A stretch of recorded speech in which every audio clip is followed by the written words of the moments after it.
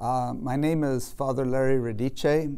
I have been a Maryknoll since, well, I was ordained in 1985 uh, and had joined, I think it was in 1978. Uh, I'm from Grand Junction, Colorado, and uh, grew up on a kind of small farm or a, a lot of fruit farming in Grand Junction.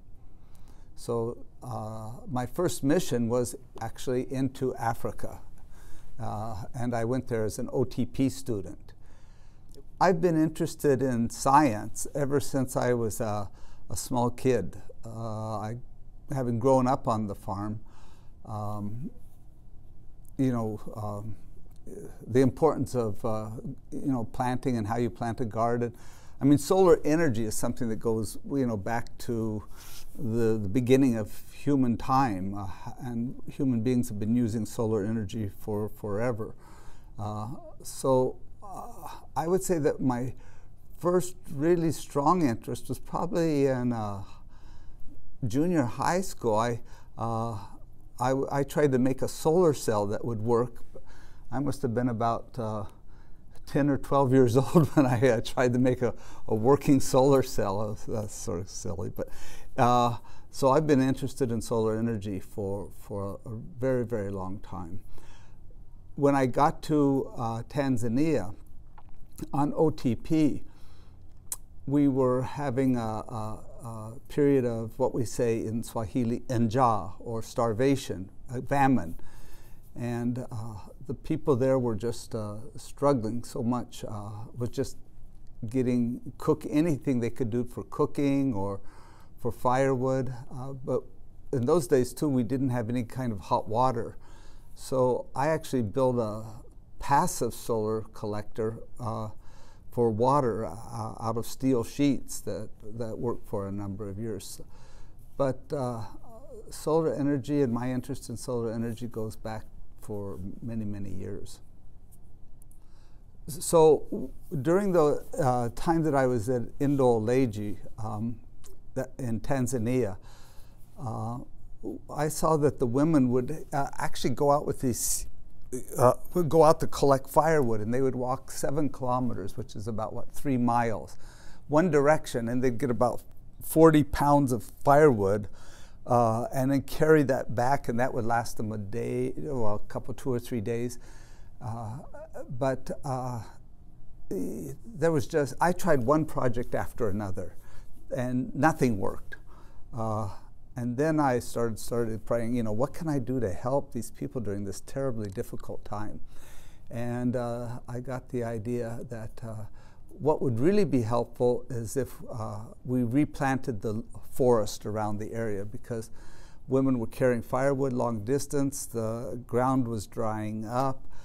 Uh, so I thought planting uh, trees would be a very, very simple kind of project. Well, it's pretty naive. Actually, tree planting is a very complex kind of project, but it was uh, that uh, was that was one of the very first things I think that got me started down that road in my mission life. Working with uh, farmers, 35 years now, and ecology.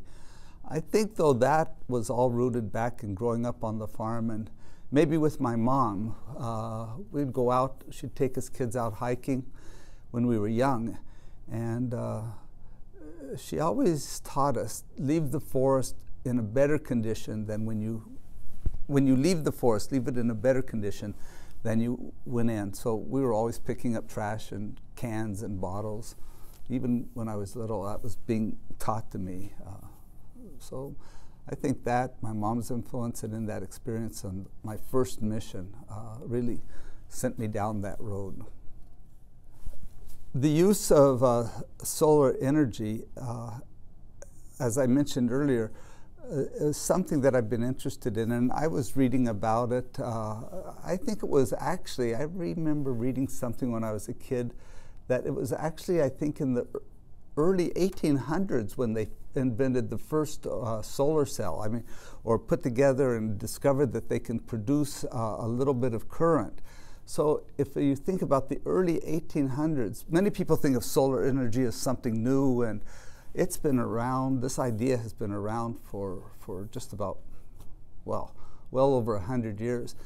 And by the 60s, uh, we had uh, amazing solar energy projects started, but the efficiency of the cells was not that great. Uh, but slowly it got better and better. And I always thought to myself, we have these huge parking lots all over around Maryknoll. Uh, and even before that, I was thinking, why don't we cover all our parking lots with uh, uh, solar panels? But certainly here at Maryknoll, we could do that. And I wrote up a project. It was, I thought it was about 2005 that I wrote up a project and uh, proposed it to Maryknoll with um, some documentation, you know, and ideas about covering parking lots with uh, uh, solar panels. But a friend of mine recently, a Maryknoll friend, uh, said uh, that he remembers talk, me talking about this in 2000.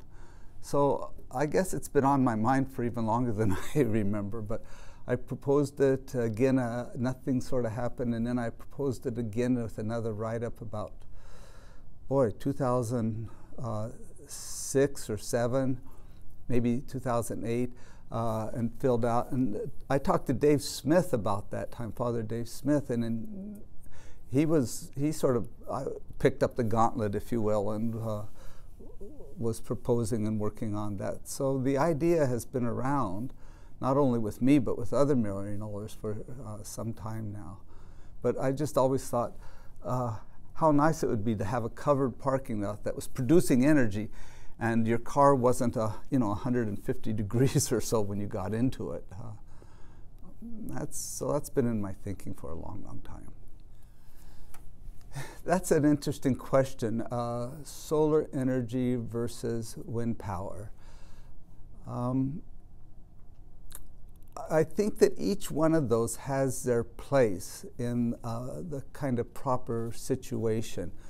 Uh, people often, I will hear them talk about the problem with wind power is um, that it uh, kills birds, uh, or that it mars the scenery, or that uh, uh the, the big windmills uh, produce a disturbing sound. Um, you know, I've done some reading on this thing about windmills or wind generators killing birds, and um, I've read really, I'm not sure that's exactly uh, very accurate. And I lived in China where we have, well, China has now become the largest uh, source or producer of wind power uh, in the world, having surpassed or uh, gone by Germany a few years ago.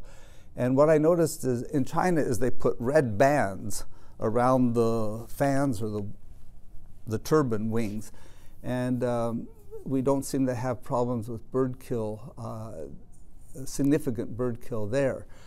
Uh, but you do see them sitting up on the mountain ridges, all these uh, uh wind turbines, uh, but they do produce a lot of energy.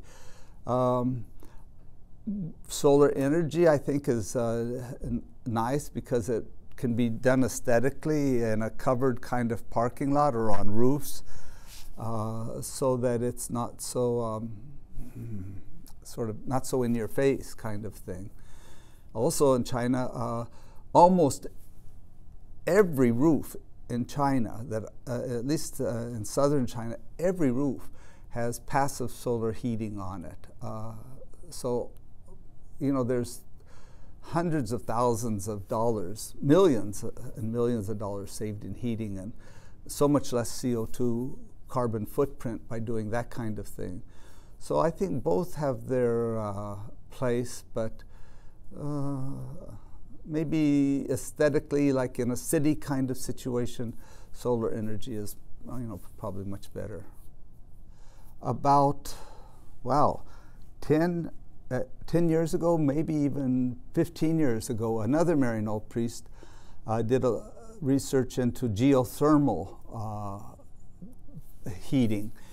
And I've only done a little bit about, uh, or is geothermal the right word? Uh, the heat exchange. Uh, the I think it's called geothermal. Yes. Um, where you use heat exchangers to take uh, the heat out of the uh, earth in the wintertime, but return heat to the earth and then cooling in the summertime. And I just picked up or ran into something that popped up on my uh, computer yesterday about that, and that uh, it seems to be possible now to do it economically. And maybe that was the situation why nothing was done, you know, 20 years ago when I first had this idea. maybe these things had to reach a certain point of economic return uh, before they really became interesting. So something else that Maryknoll could do? I don't know. Maybe we should start looking into this uh, geothermal uh, approach to some of our uh, uh, uh, energy needs. No matter what we do here at Maryknoll, whether you know any kind of energy project that we do here at Maryknoll, um, I think it's very, very important that there be some uh, didactic or teaching element to it. That was one of the components of the project that I proposed. Uh, we have many, many people come through Maryknoll. Uh, we're located where students and other people could visit the project here. I would hope that there would be a real strong uh, emphasis paid to this being uh, an exemplary model and a, a teaching moment, you know, uh, about caring for God's creation and by using this as a way to do it and its advantages, uh, you know, as far as comfort in a parking lot uh, and the energy production, and real uh, honest uh, look at cost efficiency in it. I mean, let's be honest and tell people the, what's happening and where the positive points are, but maybe where some of the drawbacks are. Uh, because there's a lot of, um, I think, false information still going on about wind energy uh, and solar energy. So I would want this to be really uh, something that benefits the community. New York State, yeah.